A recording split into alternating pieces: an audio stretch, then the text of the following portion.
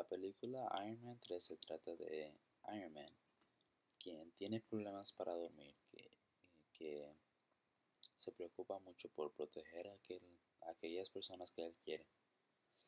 Y cuando sí duerme, tiene muchas pesadillas y muy feas. Tiene pesadillas que le arrebatan a eso que tanto quiere y, que quiere proteger tanto. Película llega un hombre muy malo que quiere deshacerse de Iron Man porque no cree en los héroes. Cree que los héroes no son reales y que no sirven para nada.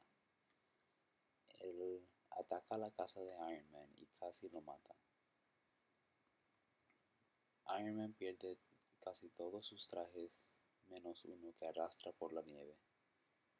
Yo creo que a lo mejor será el traje que llevaba puesto cuando se fue y cuando cayó en la nieve. Espero que esta película esté muy buena y divertida, con mucha acción.